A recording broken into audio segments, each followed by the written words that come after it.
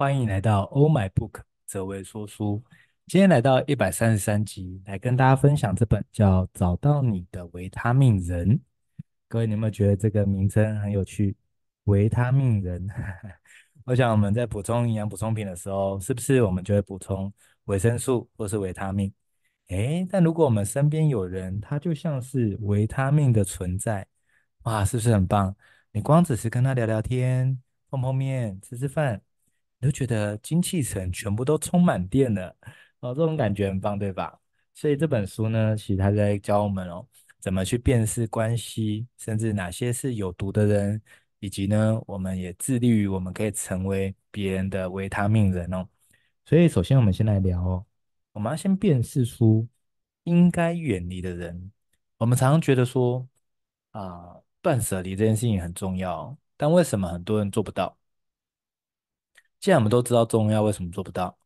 因为啊，很多人哦，非常的善良，他觉得说，哎呀，做人干嘛干嘛这个划分的这么清楚？哎呀，没关系啦，没关系啦，大家都是呃好人啊，大家都好好的就好了啊，不要有太清晰的界限啊，那没关系的这样子。那我想跟大家说，一个人慈悲善良哦，不等于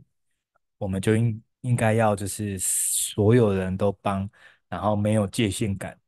哦，所以我觉得这是我们要先理清的哦。一个善良、一个慈悲的人，其实他应该更有智慧哦。所以严格来讲哦，我可以这么说，其实有分聪明有智慧的慈悲的人哦，跟这个愚蠢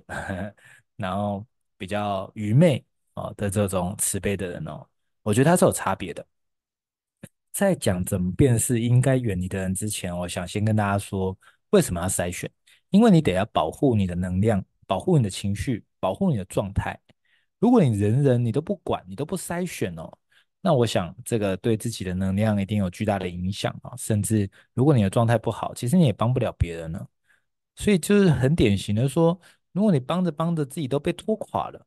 那你这个帮其实很有限哦。所以如果分两种，一种是你不知道这个观念，你没有想过，有些人可能他是黑洞人，他会把你能量吸光，哦，会让你没办法继续去帮助更多人的话，哦，那大概你现在要学的就是，那我要怎么去筛选，我要怎么去断舍离。如果你是第二种，你明知道这个观念，但是呢，你始终不敢哦去做这样的筛选哦，就代表你想要当那个烂好人。啊，你害怕别人看你的眼光啊，你不好意思去做一些的决定啊。那么我觉得，乍看你好像很大爱哦，事实上，其实底层来讲啊，其实你蛮自私的。你的自私是来自于你只在乎别人怎么看待你的面子，怎么看待你的这个观感，但是你并不在乎你自己的身心灵的状况跟能量哦。所以我说自私的点，是因为其实你之所以是烂好人。未必是你真的想帮所有人哦，也许有些人他们是只是不敢当那个坏人而已，所以你能明白吗？我之前在 podcast 就有分享过这件事情哦，就说很多人以为说啊，这个人很好相处啊，然后很愿意帮忙啊，他一定是善良的人，他一定是慈悲的人哦。我当然也很希望跟大家讲这个结论哦，这结论看起来比较像是出现在书本里面的金句哦，那也让大家比较正能量满满哦。但我得说，这群人当中，有些人他是打从心底就是真的想要帮别人，没有错。但是有一大部分人是他不敢拒绝，然后他是爱面子，所以呢，他其实打从心里就没有想帮别人，他只不过就是因为啊没办法这样拒绝会被当坏人哦，他 想要隐藏自己那个内心比较坏的一面哦，所以他只是在意别人怎么看他。所以他才去做一些慈善哦，或者是才去做一些帮助别人的行为。所以各位乍看做一样行为的人哦，看起来都是在利他，看起来都好像在帮别人。其实我们要更看的是他的起心动念是不是真的想帮别人，还是他只是碍于说他不想当那个哈跟大家不一样，或是他不想当那个被发现他是很自私的人哦，所以他的选择说哦好啊好啊，他心里是不要的，只是他就觉得。因为不知道怎么拒绝，或者是他当下哦，好像有种骑虎难下，不跟着去做，好像自己不合群哦，所以才去做。所以各位，你能明白吗？很多的事情，其实我们要看的是它的第一性原理哦，甚至看它的底层逻辑。哦，那我们就可以先明白，如果你真的想要帮助别人，你真的想利他，我得告诉你，你就是要懂得筛选。因为如果我们不懂得保护自己的能量，你的能量不足的话，你你能帮谁呢？大概你自己都帮不了了。所以各位，你可不可以这样的理解哦？你当你想要做极大化的所谓的利他，某种程度哦，你就要有一定程度的自私。但那个自私呢，并不是说去践踏别人，或者说去拿别人好处。我这边指的自私是关照自己的需要，关照自己的状态。所以你能明白那个是一种顺序哦。很多人的这个想要利他、帮助更多人这件事情。他必须要做到，先好好的关照自己，能怎么样能够产生更多的能量，怎么样更多的能力，因此他就可以帮到别人。这很神奇，对吧？一个想要这个发大愿、想要帮别人的人哦，他其实必须要去 take care 好自己。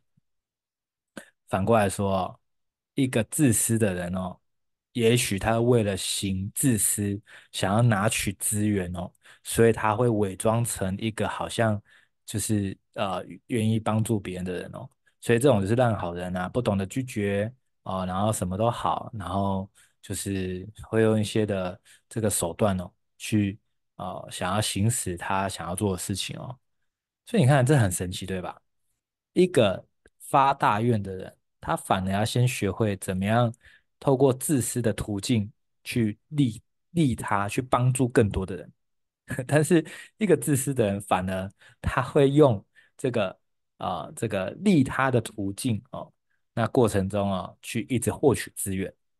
所以这个就是人性的底层逻辑啊。这个大概很多人不讲破，或者是很多人根本一辈子都看不懂到底人性是怎么样哦。我得说，其实。你越晚越晚学会哦，你大概就会吃的亏越多。那你没办法去筛选，没办法去辨识的话哦，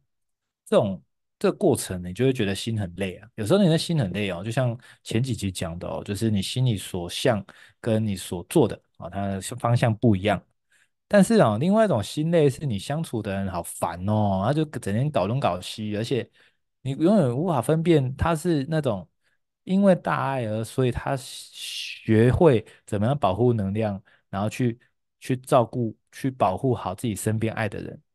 还是他其实根本其实他底层是想要获取东西哦，他是自私的这个底层哦，但是他用这种利他的方式哦，就是就是来来去获取资源哦，这这个你你你你你无法判断，但我我得说这些过程中就取决于什么。当你好，你真的帮了别人，你的起心动念是真的希望别人好，还是有别的目的？还是你去帮别人好的目的是想要操控这个这个人？哦，其实这个都呃，这个就是要去学会去分辨哦。那获取资源一样啊，你获取更多的资源是想要再帮更多人，还是获取资源后，其实你是想要为自己所用？哦，这大概是完全截然不同的观点哦。所以刚好这本书哦，有机会跟大家谈这个比较深的。一些关于人性哦，关于这个判辨呃判别的一个方法哦，我想这个提供给大家参考。之所以会跟大家分享，是因为哦，我观察过一个现象，会听哦泽维说书的听众，我有观察到一个还蛮神奇的现象，就是我发现哦，我们就是就是在说你哦，我们的听众有一个很很棒的特性，就是其实能量很高，然后很愿意利他。哦，相对来说，我觉得都是非常的善良。可是，我觉得或许有些人当中，其实你不太有能力去分辨谁该帮，谁不该帮，谁该远离，谁该就是就是持续的，可以成为这辈子的呃好朋友。我想，我发现我的听众有这个特性哦，所以我在这边讲这个观念哦，其实无非就希望说，可以帮到我们这群真的善良的人哦。同时也有能力可以去保护自己，所以我常说，一个人哦，如果只有慈悲心哦，其实是不够的，因为只有慈悲心，你没有那个能力，你也没有就是看人性这个这个方法哦，你大概你也是无法判断做对的事情哦，那就蛮可惜的。所以我就会鼓励哦，我们有慈悲心，我们同时也要有帝王术啊。我们有这些的所谓的手段了，我们有这些看人的这个方式哦。其实，当我们有慈悲心，又有这些方法的话，我们就可以让我们的利他可以走得更长久。哦，否则你看哦，一个人说要利他，就是他任何能力跟任何的方式，甚至他无法分辨有人他就是来拿资源的，他他只是来拿的，他没有要付出，他也没有去帮别人，甚至他拿资源的同时，他还会去竞争，他还会去把别人干掉这种心哦。那你这种你持续的跟他这样子互动下去，哦，那你白刷利他，就是你全部的资源都被这种所谓的索取者拿走的话，那你要怎么持续利他？而且能量都没了，你怎么继续？所以各位，这个是如果你这个利他是玩真的哦，我得跟你说，你如果是要玩真的，你就是要懂得筛选，你就是要学会这些哦，你才有办法让你的利他能够持续跟长久。而这本书哦，他有说怎么样辨识该远离的人呢？他又举了蛮多个例子哦。首先第一个，他说自私者你要想办法避开哦。我得说啦，就是刚刚讲的哦，每一个人都一定会这个。关照到自己啊，我觉得这很正常哦。这个自私者并不是说啊，你这个一个合照啊，第一个看自己啊，这样就是自私，不是那个是人性哦，这是人性。但是自私的意思是说，他们其实完全没有什么同理心啊，他也不会想去理解别人的处境哦。那尤其有些人在聊天有没有？就是当人家讲一件很很很悲伤或者说需要帮忙的地方哦，那这类型的人他就会插话说：“哦，我怎样怎样哦。”就是。你压根就没有在听别人在讲什么，然后你就当那个话题小偷，甚至就是自顾自的讲自己的，这种其实就是自私的一个一个倾向哦。所以这个都可以去看哦，就他们不喜欢听别人的问题哦，也对别人的这个问题或是困境不感兴趣哦。所以你跟这些人相处，你就觉得好累哟。然后呢，他们也希望哦，他可以成为你生活用餐聚会或是谈话的主角。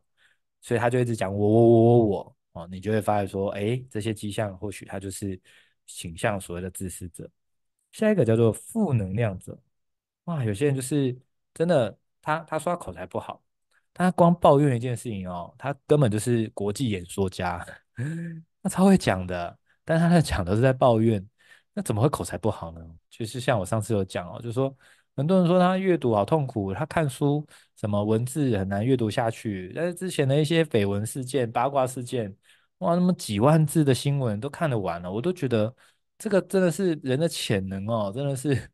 很很很无穷的啦。那根本就不是你不擅长哦，其实是我们都有我们的能力可以做到的，只是说我们可能不是那么理解可以怎么做。那负能量者就是说，他基本上遇到什么事情，他都是负面的去看待它。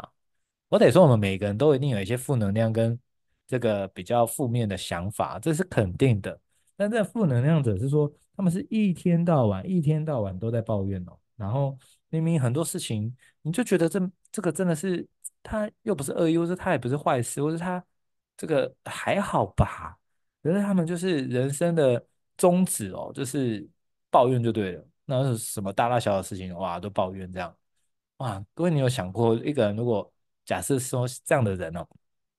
他花抱怨的时间哦，转成哦，拿来阅读，拿来学东西哦，或是拿来选一个专业去累积一万小时的努力哦，说不定他都做成了很多事情了。但很可惜啊，对他来讲，他觉得抱怨是比较简单能够做到的事情哦。那很可惜哦，所以这叫做负能量者哦，我们也要真的好好的去辨识出来。再还有一种叫嫉妒者，就是说。当别人过得比他好的时候，他就会觉得很苦恼，甚至会想办法把这个人拉下来。我觉得这种超可怕的。所以我们常听到有人说，你的好朋友、你的闺蜜哦，有些是她不希望你不好，但她也不希望你过得太好，因为你过得太好，就显得她很懦弱哦，就显得她能力不足哦，就显得她就什么都很差劲这样子哦，所以呢。哦，常常我们常听到这个螃蟹理论嘛，就如果一桶的螃蟹有人要爬出去哦，在桶子底下就把它夹回来哦，那其实这在人性当中哦，也常常会有这种状况。所以如果你有发现那些哦，有些人就算他看起来好像是知名人士哦，或者是你大概相处一阵子，有时候其实像我觉得我特别幸运的是，我过去十年来确实有一个呃很棒的优势，就是说啊、我确实看的人的那个数量确实比一般同龄的人哦，甚至可能比一些退休人士还要来得多，因为大部分人工作性质就是说，就是上班下班，那大概就是那些同事嘛，那就是那些人，所以可能平常呃会相处的人大概就是 maybe 那十个吧，或者是到顶多十五二十这样。哦，那我觉得有一点我特别幸运啊，就是说我过去十年我真的会有比较多的机会去跟各式各样的人接触哦。所以我也是大量在累积那个看人的经验哦，大概会知道说，哎，有些人其实跟人家所说的评价不太一样哦，他其实呃有一些他的一些状况，或者说他的可能原本的习惯就是比较见不得别人好。那大概你看啊，你遇到那种见不得别人好的很麻烦啊，因为如果你有好事情是发生哦，他只会在那边酸言酸语，就说。你就是凭什么啊之类，或者说啊，反正就是会讲讲一些有的没的啊，哇，那这样很累耶。但是如果啦，各位，你真的没有办法说哦，去切割这样的人，比如说假设那个人就是你的家人哦，啊，或者说啊，就是暂时还离不开的同事或什么的，我教大家一招很厉害的方式哦，我希望可以保护到大家哦。你遇到那种负能量的人啊，或是你遇到那些那种就是会很擅长嫉妒别人啊，会会见不得别人好的那种人哦，我跟你说，有一个非常重要的方法，你一定要学起来，就是你在他们面前哦，你一定要想办法示弱，你一定不能就是让他觉得你比他好哦，不管任何的成就啊什么的，哦，你都一定要就是，反正你只要讲到的话，哈、你就是要说啊，真的真的我也不擅长，其实我也做不好，或者说，但是像哦，有时候说，哎，人家看到社群媒体 po 啊什么的，我就会跟他说啊，没有啦，就是社群媒体，哦，我当然就是 po 就是好的一面啊，哦，那当然我哎私底下也是很挑战啊。啊，或说啊，就是我我我也不是很擅长，我也还在学习啊，诸如此类的啊，就说为什么要这样做？因为这种人就是说，你的成功会成为他的这种阻碍，或者说你的成功会对他来讲是刺眼的。所以这种人就是平常没事干，他们只做一件事情，就是看见别人要往上爬的时候，他就会把你拉下来。他们以这为乐，因为他自己不想往上爬，他觉得有点像爬楼梯太累了，那不我就停在这个这个阶梯这边有没有？然后看到谁要往上，我就把他拉下来，好，然后就觉得啊爽啊，就是哇，如果这个后起之辈比我还优秀，我不是丢脸丢到爆，或者是哇，我们都是同一间学校出去的。哇，一个财富自由，然后一个在那边就是整天加班，哇，这是任谁心情都很难受嘛。所以呢，有时候这个人性的底层哦，就是有些人他们就会用把别人拉下来的方式让自己好过，因为他自己可能没办法往上，或是他不愿意往上。所以如果各位你遇到这种所谓的负能量者哦，或者说所谓的嫉妒者，各位你一定要记得我说的，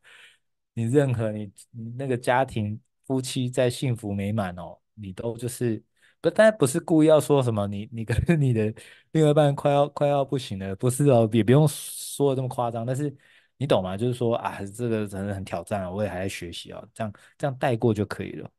所以各位你一定要记得，我深信会听 Oh My Book 这位说书的听众，你绝对都是那种善良，然后愿意利他的人哦。但是我我这一集哦，真的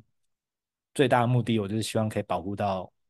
你，保护到像你这么棒的特质哦，不希望你被社会这种人去玷污，或者是去去去伤害的。所以我得告诉你，你真的遇到这种人，你相信我，你试试看，好，就是呃，就是要把自己降低一点哦。那你也不用觉得委屈啊，因为你降低一点是为了不要受这些人攻击。这边我要讲一个很重要的观念哦。我相信很多比较好强的人，像我过去的我就是这样，就会觉得说，干嘛他要斗啊，来啊，我又不是斗不过他，我又不是没能力，我又不是没资源，对吧？好，但是我想跟你说，我之所以教你这样做，并不是我不相信你的能力可以干掉他，或者是可以可以可以呃阻挡他的攻击哦。但是我想要说哦，这种小人很麻烦，是说他在暗啊，你在明，你知道吗？哦，就是说，就是说，你当然跟他正面对决哦，你一定是把他可以可以解决他的，肯定的。但麻烦就是说，那你在忙你自己的事情，你怎么会知道他在外面怎么样，到处在那边煽风点火，或者说他怎么样攻击？就是暗箭难防啊！我的意思是这样。所以你与其哦这种，你你你一直在前进的过程中，就是我们遇到这种人，我们就是闪远一点，然后但是同时我们不需要去树立新的敌人，你知道吗？哦，所以你 树立新的敌人很麻烦呐。哦，这种小人他们真的是人生无大志哦，唯一的大志就是把那些可以成功的人都拉拉下来，他们觉得很爽很开心啊。哦，那这就很麻烦了。所以各位，这个就是我跟跟大家讲的一个一个忠告。好，另外呢，还有这所谓的这愤世嫉俗者哦，就是哇，这种也很麻烦哦，因为他本身就会觉得啊，什么都不行哦，然后什么都抱怨哦，其实跟刚刚负能量有点像哦，但是这个是更更到恨的这个地步了。那这种这种状况为什么也是很危险哦？因为这种愤世嫉俗的人哦，如果今天你在他身边，如果假设有一天他不知道某个原因，他也觉得你是啊对他有敌意，或者说你这个。要伤害他啊，诸如此类的。哇，你真的是有时候人是这样，就我们专注在做自己的事情哦，然后我们专注在提升、成长、前进哦。那突然有人就他的情绪不稳哦，或者说他甚至有一些情绪的疾病哦，那他就转成把你当成你你想攻击他，这无中生有的事情，他讲的跟真的一样，那这就很麻烦呐。因为你知道，有时候当别人就是在那边。胡说八道的时候，你跟你在那边跟他辩论哦，在那边解释哦，你知道这个麻烦之处在哪吗？就在你在路上看见两只狗互咬，你会知道哪只狗是对的，哪只狗是错的吗？你根本不知道啊，你只知道说哦，两只狗在互咬，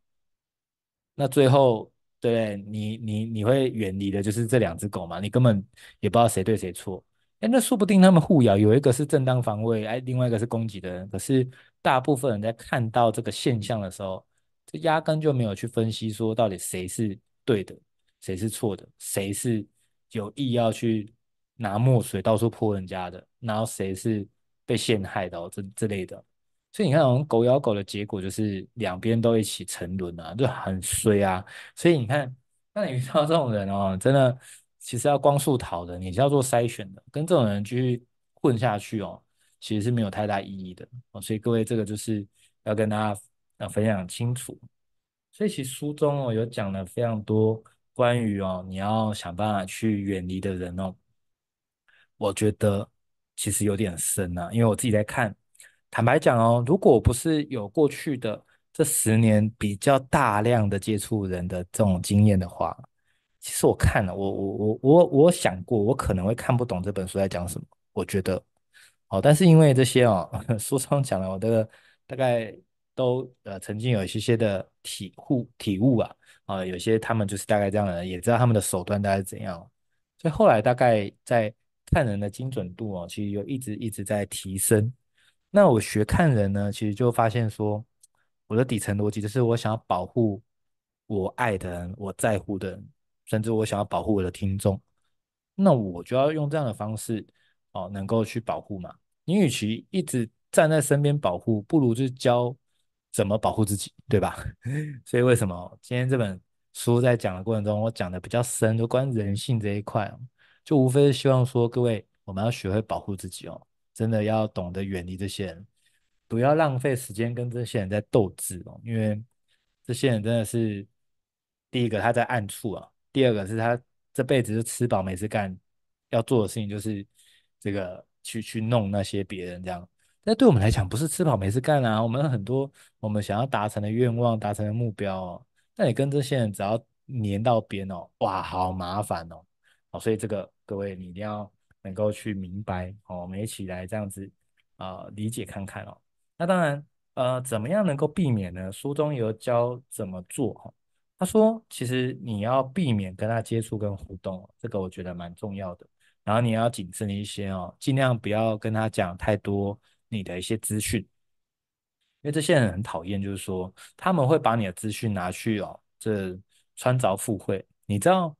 编出来的故事最麻烦的是什么吗？最麻烦的不是他整篇都是假的，整篇都假的，你一听就知道了嘛。那最麻烦的是这篇里面有真有假，然后就很雷同，那你听了就觉得好像有那么一回事哦。甚至有些人说啊，事出必有因啊，会有这样的说法，就代表一定有发生这样的事情。哎，才不是嘞！有些人他们就是被害妄想症，他们就是天生的编剧啊，他们就很喜欢乱讲一通。哦，那你你还用这种底层的信念，就认为说啊，那一定怎样怎样？那你不就是错的太离谱了？哦所以这过去这种经验哦，真的是，其实就是说真的啊，就完全不要接触，不要互动哦，真的还是比较好。你跟他有一些好来好去的互动哦，你都不会知道他是什么时候突然发作，或是 突然就是。吃饱没事干就找你来当娱乐哦，那很麻烦哦。另外呢，就是忽视对方的意见哦，因为对方的意见其实对你来讲没有太大帮助，因为他的意见的目的都是为了要搞垮你嘛。所以如果你一直这样子被控制，其实是很麻烦哦。更重要的是哦，你千万不要因为他们的一些想法等等对你的健康有掌控力，也就是说让你可能受影响啊。所以说真的哦，我的立场是这样，好。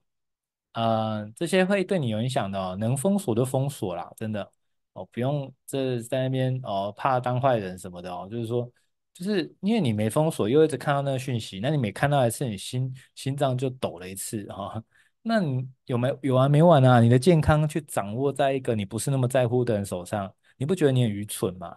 就是你怎么会让自己一直暴露在危险当中呢？你的风险管理到底是做到哪里去了？就是。你让自己一直暴露在风险，那为什么呢？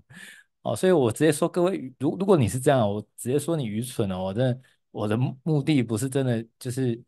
不是真的，就是想骂你，是说我希望你能够明白啊，就说你一定要保护好自己，你才有能力，才有能量，可以去帮到更多的人。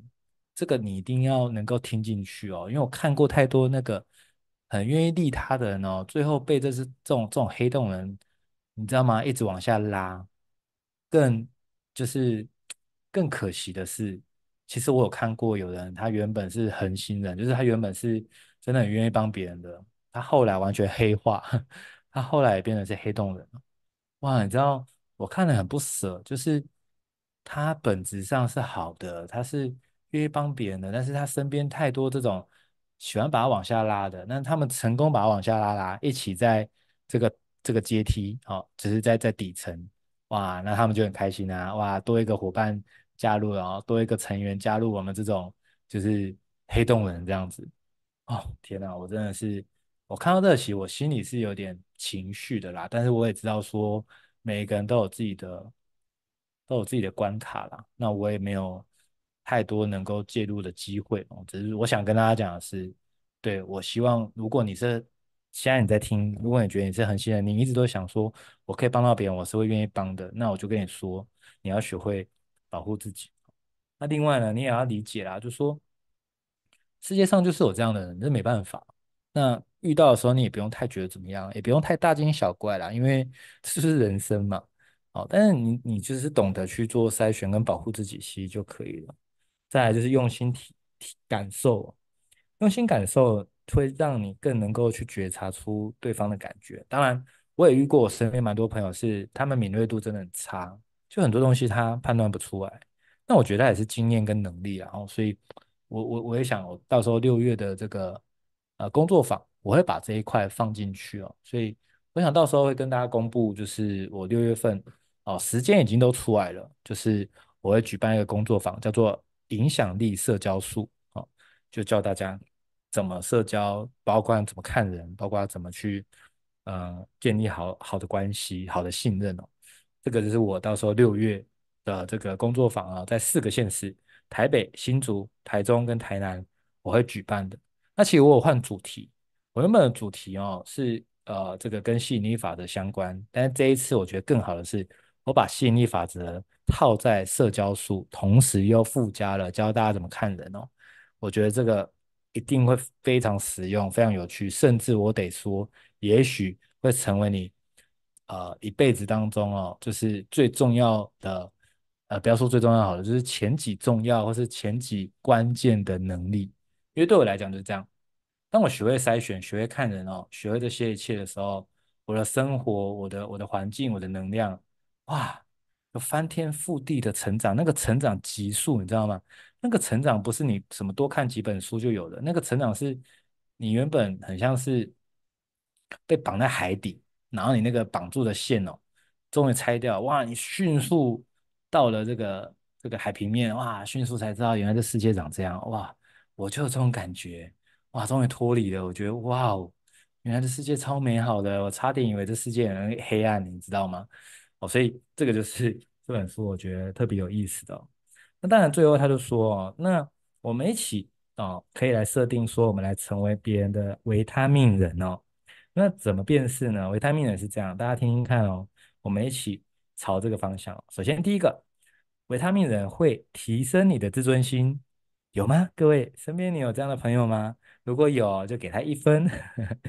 第二个，维他命人会支持你，会激励你，会鼓励你，有没有？第三个。维他命人会激发你最好的一面。第四个，维他命人会试图缓解痛苦的时刻。第五个，维他命人会希望理解你而不批评你。第六个，维他命人会传递欢乐和热情。第七个，维他命人懂得感恩并传递感激之情。第八个。维他命人会帮助你摆脱负面情绪，并强化正面情绪。第九个，维他命人富有幽默感。总共就是九个喽。所以啊，如果你觉得刚刚听下来哦，哎，你你发现你身边有这样的人，我我鼓励你，就算你可能跟他不一定很熟哦，我都鼓励你说，你就是私讯他，然后呢，就是跟他。呃，好好的道谢，或者是好好的跟他说，哎，我听了这一集，呃，这个找到你的维他命人，然后我听完之后，哎，这位说了几个项目哦，我发现，哇，我觉得你全部都有，哎，所以我想要特别跟你说谢谢，这样，啊，这样是不是很棒？啊，所以呢，我们就鼓励大家，我们一起成为维他命人，然后我们也找寻身边维他命人，我们一起互助、互相帮忙，同时我们懂得保护自己。我们要有慈悲心，同时我们要帝王术。我们要懂得知道怎么利他的同时，也要懂得怎么保护自己。希望今天跟大家分享的这本书大家喜欢。我们下一本集呃，希望大家听了这本书会喜欢。我们下一集与大家再相见，大家拜拜。